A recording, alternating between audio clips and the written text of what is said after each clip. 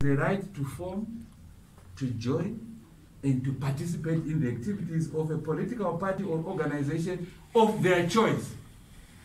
Once you exercise that freedom, then the state must fund you. That's what our constitution says. The constitution starts by giving every citizen a right to join or form a party of their choice.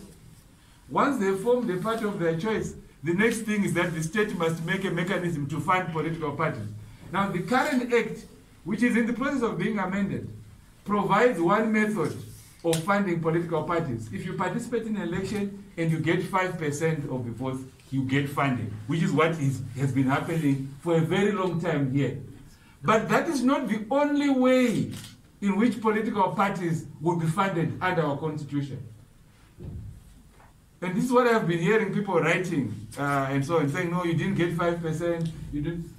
you don't have to have 5% to have the right to form or to join a political party. It's, it's not us.